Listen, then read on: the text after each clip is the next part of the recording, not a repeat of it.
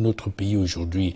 Euh, je parlais tout à l'heure de ce rapport de novembre 2022 euh, rendu public par la Commission nationale anticorruption, la CONAC, et qui indique que le préjudice financier de la corruption pour l'État du Cameroun en 2021 est de 44 milliards de francs CFA. Il y a une autre organisation non gouvernementale, une ONG camerounaise appelée SOS euh, Corruption, qui pense que chaque année, l'État du Cameroun perd environ 400 milliards de francs CFA dans la corruption. Et dans le rapport de la CONAC, il indique très bien que les chiffres qu'il a donnés n'incluent pas l'affaire COVID-Gate. Alors, puisqu'on parle de COVID-Gate, à côté de COVID-Gate, il y a une autre affaire qui est l'affaire Glencore, sur laquelle vous travaillez depuis, 2018.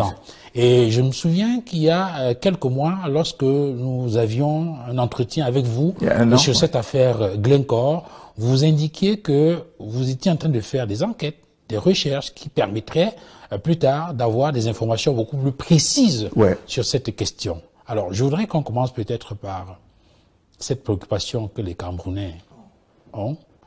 Est-ce qu'aujourd'hui, on sait qui est concerné, qui est impliqué dans cette affaire de corruption de Glencore au niveau du Cameroun? Écoutez, je vais essayer de, de parler des trois situations que vous avez essayé de souligner. Et ça, c'est l'astuce de ce gouvernement. Quand on parle trop de quelque chose, on devient habitué. On dit oh. Euh, Parlant de la corruption, un ami à moi était dans la voiture avec sa maman. Et on parlait de l'argent et tout. Quand détourné des dizaines de milliards. Et sa mère lui demande, un milliard, c'est même combien? On peut faire quoi avec? Et le gars dit, des lycées, des hôpitaux, des routes, des écoles. La femme dit, ah, c'est le mensonge. Personne ne peut pas ce, ce type d'argent. Un milliard, non, non, non, c'est pas vrai. Et c'est ça le truc. On nous a parlé tellement de milliards que les Camerounais sont blasés. Ils, pour eux, n'est-ce pas? Pareillement avec la corruption. Donc, vous avez parlé des chiffres. La dette, n'est-ce pas, du Cameroun en juin 2023 c'est 12 137 milliards. 12 000. Estimation perdue en corruption. 8 674 milliards. Donc ça fait quoi? Si vous faites l'arithmétique, c'est environ 316 milliards par an. Pas loin du chiffre donné par cette ONG, de détourner. Essayez donc de faire la différence entre l'argent détourné et notre dette. C'est presque les deux tiers. Est-ce qu'on ne peut avoir ça Que les routes, la souffrance, le, mal-vivre des Camerounais, c'est parce que nous volons? Ce n'est pas de la magie. Donc, vraiment, au nœud du problème dans ce pays, c'est le fait qu'il y a des Camerounais qui ne le sont pas en fait qui ne sont pas patriotes, et ils disent tant pis pour les autres. On en viendra plus clairement. Alors, sur cette affaire Glencore, est-ce qu'il y a de nouvelles révélations? Parce que Ce que j'ai découvert dans les enquêtes, j'ai tout fait, je vous dire. J'ai fait l'Angleterre, je fais euh, euh, les États-Unis, j'ai fait plusieurs États, j'ai fait la Côte d'Ivoire, j'ai fait le Sénégal, les autres pays, je fais le, le Congo. Et c'est impossible, quasiment impossible d'obtenir. Mais on a des pistes. Parce que quand je vous avais parlé il y a presque un an, un peu plus d'un an, on avait chiffré le montant de la corruption en 8 milliards. Comme on dit souvent, je vais vous montrer la lune, mais les gars, regardez le doigt. Oui, c'est 8 milliards. Mais la question à poser, mais 8 milliards pour obtenir quoi? Oui. Et parce que justement, très souvent, on dit que oui, c'est l'argent de la corruption, le vin, pour obtenir des contrats pétroliers. mais, mais il s'agit de quoi concrètement? Je vais donc vous montrer trois graphiques. Le premier graphique vous montre les ventes entre 2017 et 2020. Et sur ce graphique, vous allez voir, sur le point zéro, ça c'est le prix mondial, n'est-ce pas, de la vente de pétrole. Et sur les graphiques, vous allez voir à droite les noms des traders, les gens à qui nous vendons. Je vous laisse moi regarder Glencore. Donc, si vous regardez Glencore, vous allez voir que Glencore, en 2019, a acheté le pétrole camerounais à 30% des décotes. Pardon? 30% des décotes. En dessous du prix mondial. Possible qu'il y ait une justification commerciale ou économique. Swapping ou je ne sais pas, je ne sais rien. Mais ce qu'on voit dans les documents, retirés auprès de EITI, là où on déclare, c'est que Glencore a acheté notre pétrole, 30% moins en dessus du prix mondial, 25% en dessus du prix mondial, 10% et 8%. Pourquoi?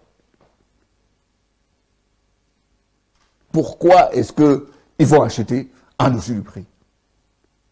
Interrogation. Et puis, comme par ça, j'ai découvert une autre société, Vitol, qui lui a acheté à 70% en dessus du prix mondial. 70% 70%. je ne connais pas le contexte, mais ce que je note. C'est-à-dire que pour faire simple pour les téléspectateurs, euh, il achète le pétrole et lorsqu'il le revend, il revend au prix mondial, au prix mondial, bon, et si, il a 70%. voilà. C'est-à-dire que disons que c'est 100 francs. Oui. Qu'il achète, le prix mondial, c'est 100 francs. Mais quand il achète au Cameroun, il achète à 30 francs. Et, je, et je vous dis que, selon les chiffres, nous avons vendu pour plus de, plus de 900 milliards de, de, de, de, pétrole en 2022. What do read beneath those transactions? What do you read beneath those transactions in terms of uh, corrupt practices and uh, you see, that is, that illegal maneuvers? That is the, the sadness about opacity. When you are not transparent, that's what happens. My father used to tell me, information is better than explanation. If you inform somebody, then you don't have to explain after. This is what's going to happen here. Okay. What do I read? Glencore, as you remember from our last discussions, said to court, the court that the money they were paying was to get commercial advantages. Question. Is this discounted sale a commercial advantage? And he, he was saying earlier on about corruption and all that. What really hurts is the fact, as we speak, Glencore Explorations is in Douala. It has a head office. It's in business with the country. It has appeared to be a fraudulent person. He's engaged in money laundering because he brought money cash by air. Eh? That also is tax fraud because he brought money by air. Eh? And that is money laundering because, you know, it wasn't going to a bank. And then it said that he took money also by increasing the bills of the expenses. And the difference in price, he used that money to bribe. That's what? Tax fraud. Then Core itself has admitted that. How can we in a country, état de droit, you know, forget about Moulinex and all those things. État de droit. How can we permit a guy who has admitted to be a thief and a scoundrel to do business here? But the, the, another question is what about those involved? Because there are two companies, two state companies, mm -hmm. the National Oil Refinery and the um, uh, uh, and SNH mm -hmm. that are involved. And nobody is uh, saying anything about those who did the transactions because the money that they are said to have used was given to Cameroonian uh, Cameroonians who are leading those companies. Yeah. And uh, they're going away with it. Nobody said anything, despite all the. Yeah, but that's what that's why it's known as impunity. I mean, I know that the procure the the, the uh, State Council la République of Yaoundé has sent my complaint they didn't start investigation. He sent my complaint to the police judiciaire in Yaoundé. So maybe, I know the tax authorities now are investigating. That is the good news. But the thing is this. If I'm the director general of SNH, and somebody says they paid me money, or Sonara, I say, man, come here. Who did you give the money to? Because I don't know anything about this.